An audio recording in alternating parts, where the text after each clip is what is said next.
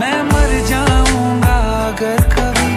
कहना पड़ गया ये सनम मैं तेरा ही हूँ मगर तेरा हो नहीं सकता। हमें मान ही ना डाले बुरी नजरे लोगों की ये हाथ छुड़ाएगी ना हाथ पकड़ने देगी।